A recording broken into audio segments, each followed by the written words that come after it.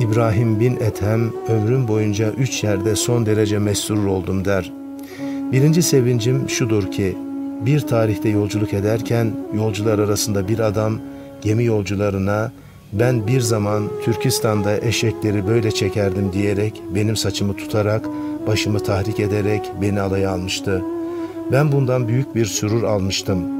Adam gemide o kadar kişi arasında beni bulmuş ve hakir görmüştü.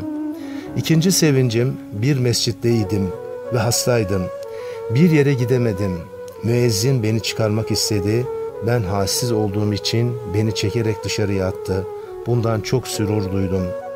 Üçüncü sevincim bir duvar dibinde oturuyordum. Adamın biri al sana gül suyu diyerek üzerime işedi. Bu olaydan da mutluluk duydum.''